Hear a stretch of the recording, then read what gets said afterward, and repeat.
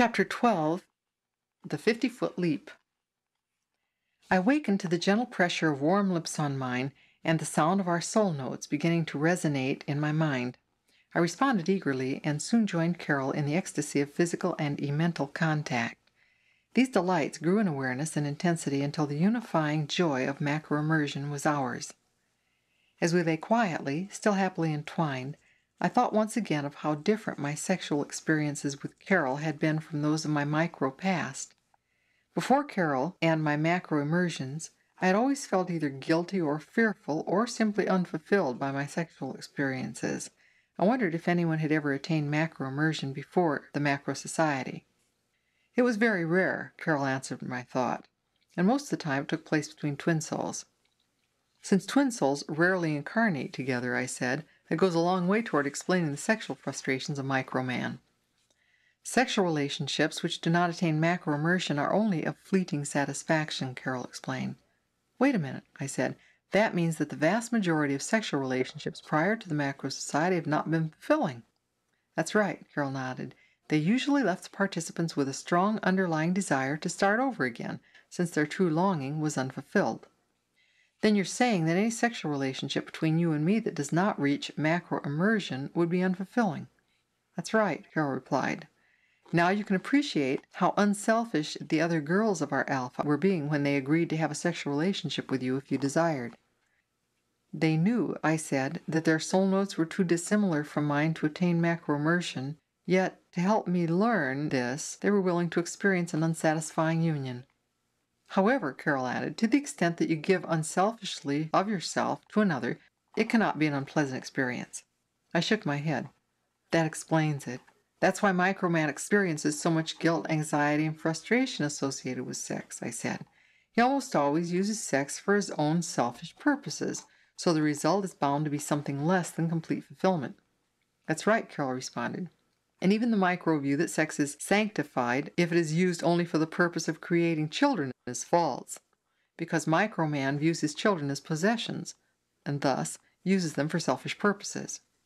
Not the least of which must be microman's hope for immortality through his children, I reasoned. Yes, Carol smiled. Man for centuries pursued what he called immortality, that celestial heaven where his eternity of days would be spent floating from cloud to cloud with a harp in his hand and a blissful smile on his face. He just had not yet evolved far enough along the MM continuum to remember his past lives. And if man can't remember his past lives, he can't be expected to understand the true concept of immortality. It would be like expecting a person who has been blind since birth to understand the color yellow. Many of your religions compounded this problem, she continued. Any religion that denies the human soul its immortal past is going to have difficulty teaching an immortal future. Thought about that for a bit, then said, I can see where that's one of the big problems of Christianity. That's right, Carol agreed. Any religion that depends on a priesthood for its truths is micro.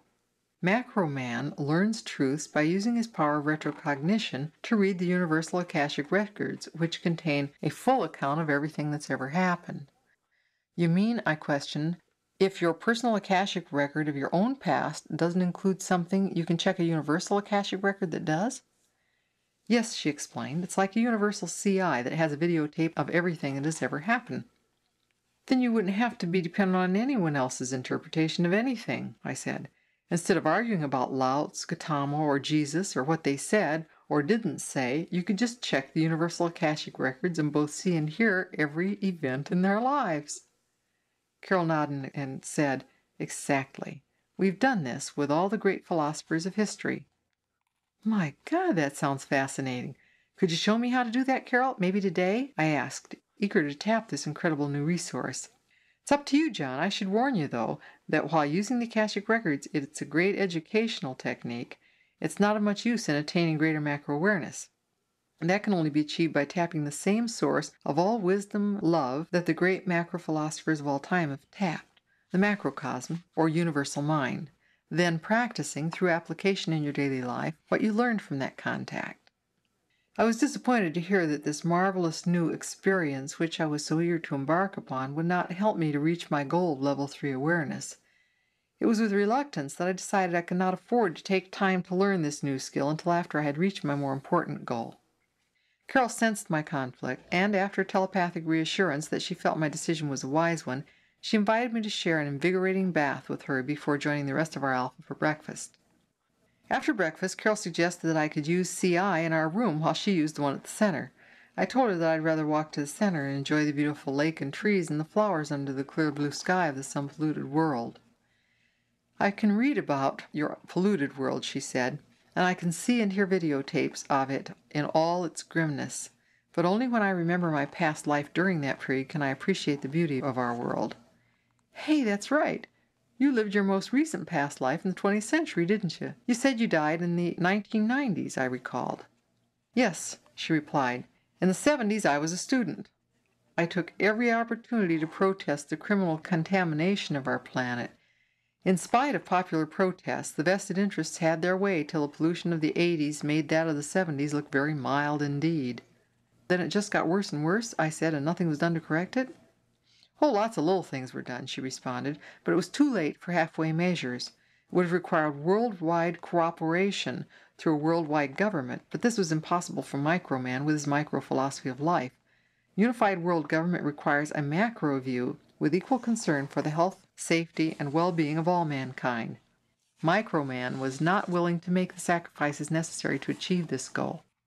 I guess, I said, I'm using a micro perspective when I feel sorry for Microman's suffering and miserable death. I know that it was the only way he could learn the consequences of his selfish micro ways, but I still feel remorse about the tragic deaths.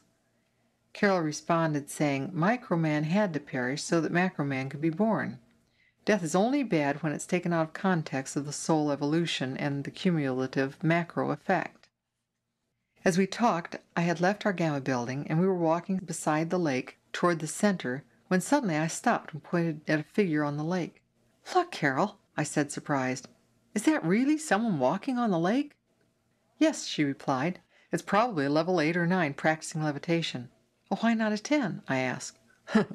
because, she answered, they don't have to practice. The figure had been too distant for me to get a close look at levitation, but it soon disappeared into the water. I guess whoever it was got tired, I postulated, and is now taking a bit of a swim. Maybe, Carol replied, or maybe swimming just looked like it might be a little more fun. Why don't we try a little practice ourselves, and then you can learn to levitate too.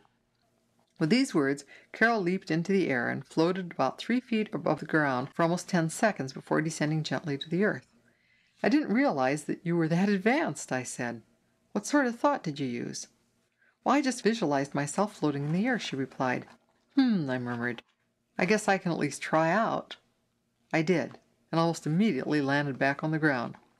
Carol picked up my puzzlement and answered, You forgot to raise your vibrations by recalling macro contact your macrocosmic oneness with all. I followed her suggestion until I felt joyously calm and very buoyant. And then I visualized myself about six feet off the ground and easily leaped to this height. I stayed up for almost five seconds before fatigue overcame me, then started to come down gently, but ran out of PK about two feet from the ground and landed with a thud. I was thrilled with my unbelievable success.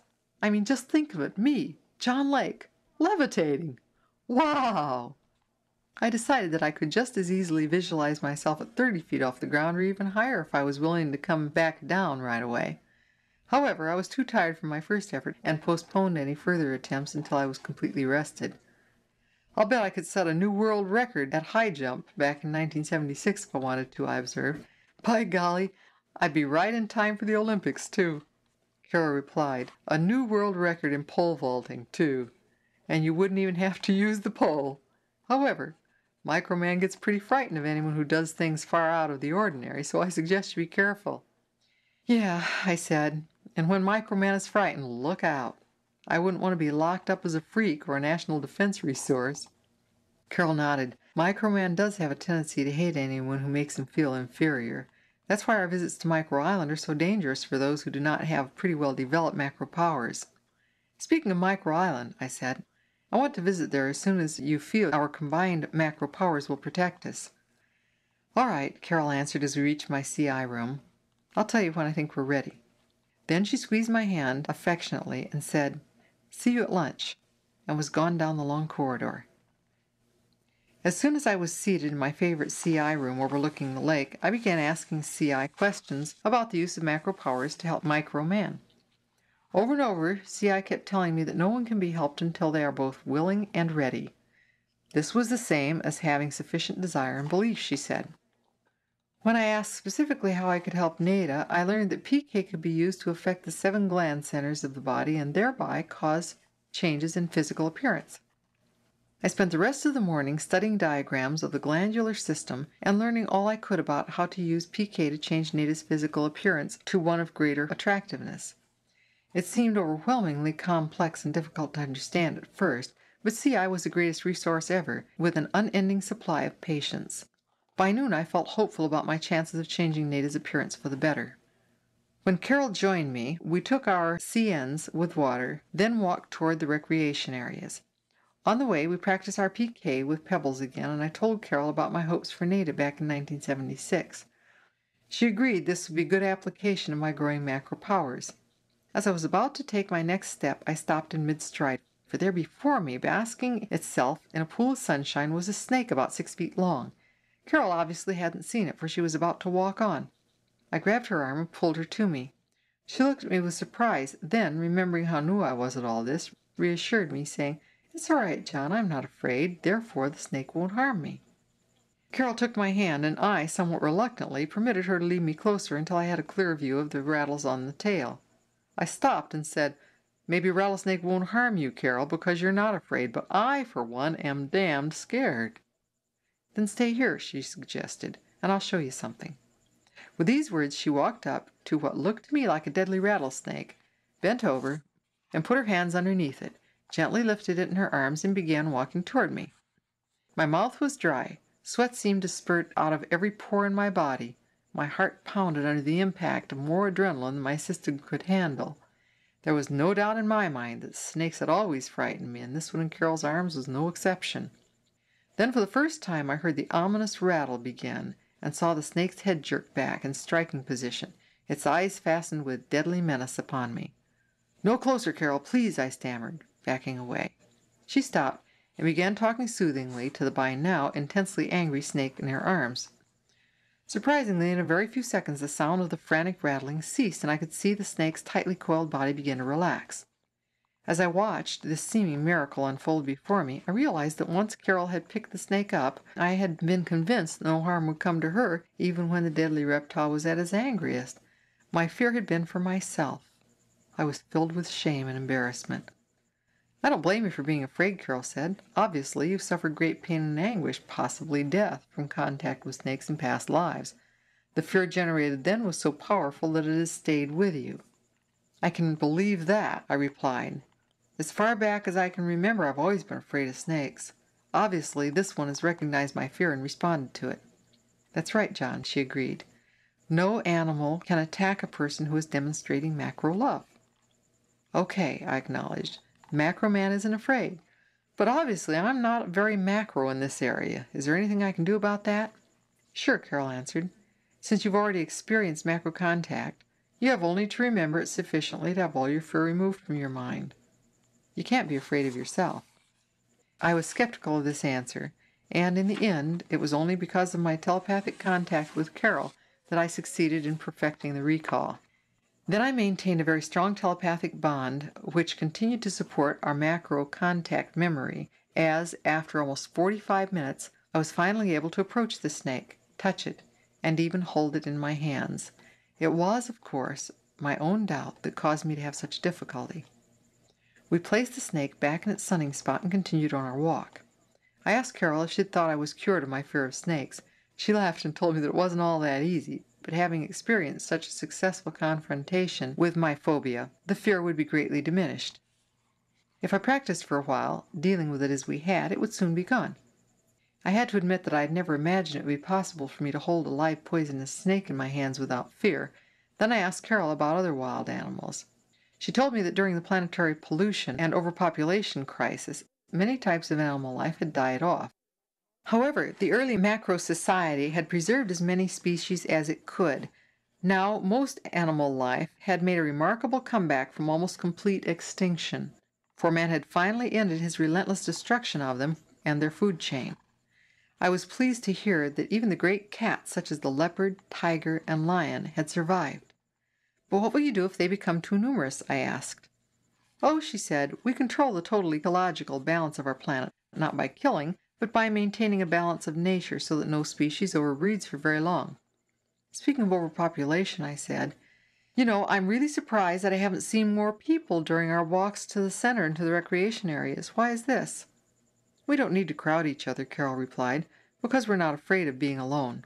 With telepathy, we need never be alone, and we need never invade the mental or physical privacy of others without their consent. Besides, you haven't seen much of our delta, only the student gamma area. That's true, I agreed. Although on my first visit, I wandered for some time through your gardens and woods, yet Leah was the only person I saw. Don't forget, Carol reminded me, each delta has a hundred square miles of living space, devoted mostly to wooded parkland. Ten thousand people can live very uncrowded lives in our deltas if they live them in a macro fashion. Some day, I said, I must walk around the lake and see all the other Gamma buildings. Well, why don't we do it now? Carol asked.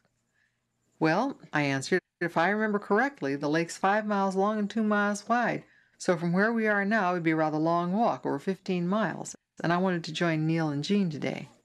Well, we can do both, Carol replied. We'll just run most of the way, using macro contact energy. You mean, I asked, every time we get tired, we recall our last macro contact and renew our energy supply while at the same time washing away our fatigue? Well, sort of, she answered.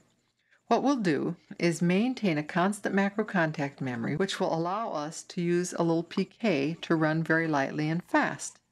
Imagine your body weighing only a few pounds, and then imagine that the force of gravity is much less, only about one tenth its usual force. At first, all this seemed complicated, and I had a lot of difficulty believing it was possible.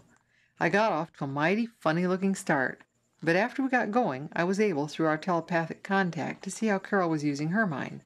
Then, by the same telepathic bond that had finally enabled me to overcome my fear of the snake, I learned how to run as I had seen Leah run on my first visit to 2150. For a person who's always loved running, this experience of almost flying through the air as we bounded along with the stride of a colossus, interrupted with occasional leaps of pure delight that must have covered at least fifty feet, was the ultimate in physical expression. Our speed varied as we passed such points of interest as the other Gamma buildings, for then we could slow our pace so we could look around. I was seeing more people than ever before. We wove our way around the Gamma buildings. First, we ran along the lake shore, admiring the lovely stretches of sandy beaches on which many of the handsome members of the Macro Society were playing and swimming nude in the sunshine. They sent us telepathic greetings and welcomed me to 2150. Then we ran past the shrubbery and flower gardens through the parklands behind the gammas until we came to a large vegetable garden that was maintained by each gamma. Still, we saw relatively few people. Even when we passed the large gamma buildings, which I knew housed a thousand people, there would be only a handful of people outside around them. It was only when we came to the large recreation areas, which seemed to be shared by two gammas, that we saw more people. Even here there were no large crowds hardly more than a hundred people in any one of the huge recreation areas. I was pleased that from a planet that had almost died from overcrowding, Macroman had truly reestablished a balanced population. And yet, ironically, Microman's ideal of the single family house had been given up completely. When we came to the administration building at the end of the lake, I realized that I must have run at least six miles, yet I didn't feel at all tired, more exhilarated than anything else. I appreciated the rows of tall trees surrounding this building.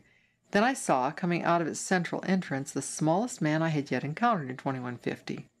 He was no more than six feet tall, and as we approached him I noticed signs of aging. Rena had looked forty-five, but this man looked at least fifty-five. As we stopped before him, Carol took his left hand and greeted him affectionately.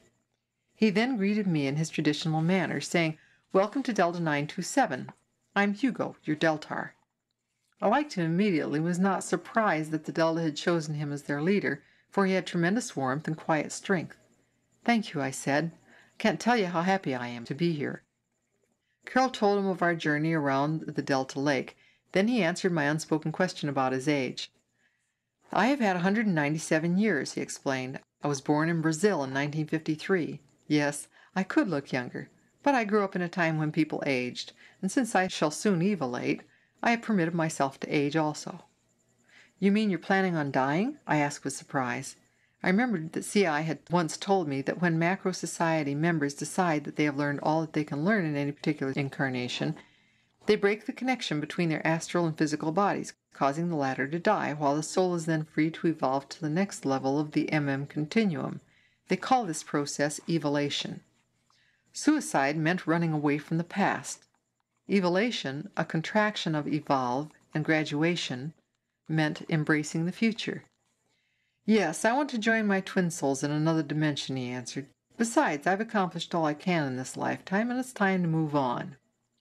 He laughed at my uncertain expression and continued, saying, You don't need to worry, John. I'm not planning on evoluting immediately. In fact, it'll be some months yet before my successor is chosen, and of course, I couldn't leave until the new Deltar is ready to take over. I told him that I hoped I would see him again in this lifetime. Then we continued our run. Along the other side of the lake, I noticed that there were more people swimming and playing on the beaches. Carol explained that mid afternoon was the favorite time for outdoor recreation. She asked if I wanted to speed up our journey in order to join Neil and Jean sooner. I replied, How much faster can we run? Lots faster, she replied. Just think lightly and swiftly.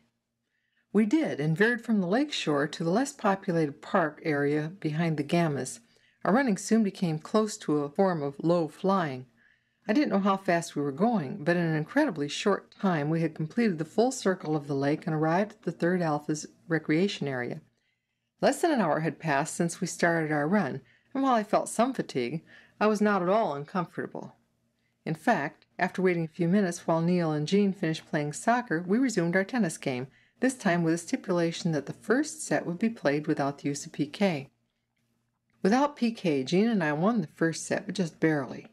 Then, in the next two sets, in which we used our PK, I was pleased that while we lost, it was much closer than it had been the day before. I was making progress, even faster than I had hoped. After tennis, we again took a dip, followed by a fascinating but very complex game similar to three dimensional chess, which was played as a team sport. Because of my inexperience at this game, Carol and I played the two children, and again I was amazed at the remarkable intelligence of these two seven year olds. They beat us three straight games. But at least by the last game I was catching on to some of the intricate complexities, and we came very close to winning. Then it was time to return to our gammas and our individual alphas for the macro dance. Again we were running, but this time with Jean by my side and Neil just ahead of Carol. Never had I seen children run so swiftly. I was sure that these seven year olds could easily break every track record of my 20th century. We waved goodbye at the interest of our gamma, and as we made our way to our respective alphas, there were telepathic reminders of what we would do together tomorrow. Back in our alpha, I was soon engaged for the second time in the energetic and delightful combination of ballet, folk dancing, and gymnastics called the macro dance. The exciting musical accompaniment was supplied by CI through a speaker system so designed that the music seemed to emanate equally from all parts of the room. With my growing telepathic skills, I was able to keep up with more of the flashing ins and outs and other dazzling swift interactions of the others in the room. I was no longer surprised to find Joyce on my shoulders or Alan throwing me in the air or the tumbling over and under each other that occurred so regularly. Utilizing our telepathic bond, I knew what was coming and was more or less prepared to accept what I had at first thought were impossible physical gyrations for the human body. While my first experience with the macro dance had left me bewildered and doubting the evidence presented by my own eyes, I was now prepared to accept the macro powers as non miraculous, though thrilling and surprising. However, the day's demands on my PK had been strenuous, so after about fifteen minutes I found myself very tired and grateful that my alpha had ended the dancing early in deference to my fatigue.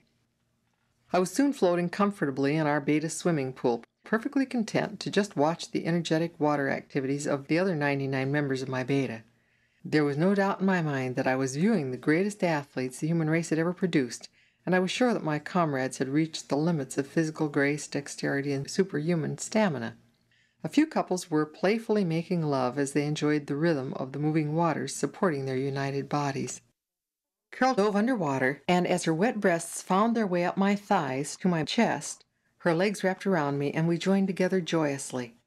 Appreciating the uninhibited joy of love expressed openly and freely, I made a mental note to apologize to Carl and Cindy. Before we left the pool, Leo, our Betar, organized a type of water ballet, a game that was breathtaking to watch. I vowed that tomorrow I would become a part of this activity too. After dinner, I listened to my Alpha doing some magnificent singing and discovered that Nancy and Steve had voices that would have been the envy of our greatest opera singers in the 20th century. To provide musical accompaniment, they merely asked CI to give them whatever they wished in the line of music, since CI had recordings of every imaginable kind.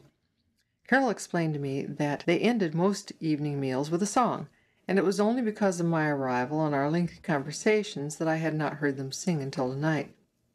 I could have listened to them sing all night, and even discovered that I was able, with the aid of telepathy, to join in some of the songs. However, long before I was ready to end it, Alan was saying that it was time for tutoring, and I was leaving for my visit with Raina. I was pleased that we would be meeting with her this evening, since I planned to ask her to use all of her macro power to help me attain my third macro contact. Raina immediately picked up this intention of mine, or perhaps she had precognitively anticipated it, because she asked me how I thought she could help me attain macro contact. Well, I I don't know, I answered, feeling rather surprised at her question. But after all, you are level 10, and if anyone should know how to help me, you should. Yes, Raina replied, but last time we met, I told you that it is desire and belief that determine all things. No one can give you these two essentials. All right, I said, but I thought if I could establish a strong telepathic bond with you, that when you establish macro contact, I would be able to make it more easily myself. Raina shook her head. It won't work with you and me because our soul notes are too dissimilar. However, it might work with Leah if you could completely eliminate all resistance. But, once again, we're back to desire and belief. Even telepathically connected to Leah, you would fail to attain macro contact if you didn't have sufficient desire and belief. What's more, you would then interfere with your twin soul attaining macro contact. Of course, since Leah has been using her macro powers to maintain your time space translation, she has not been able to attain macro contact at all. Perceiving my thoughts, Rena said, No, John, there is no easy way. At least none that I know of, and I spent many lifetimes looking for them rather than accepting the responsibility for my own personal growth or lack thereof. I didn't remember much of what happened during the rest of our meeting with Raina. I was a little embarrassed and more than a little disappointed. Later that evening, as I was ready to go to sleep, I realized that ever since Raina had told me that she couldn't help me the way I wanted to be helped, I had been in a fog of depression. Carol, of course, picked up on this and said something about all depression being the product of repression. I wasn't really listening very closely, for my mind was again wrestling with the seemingly impossible task of attaining level 3 in just three months. Once again I failed to attain macro contact, which so frustrated me that I then failed at attaining macro immersion. I lay awake for a long time thinking of my failures and the task before me.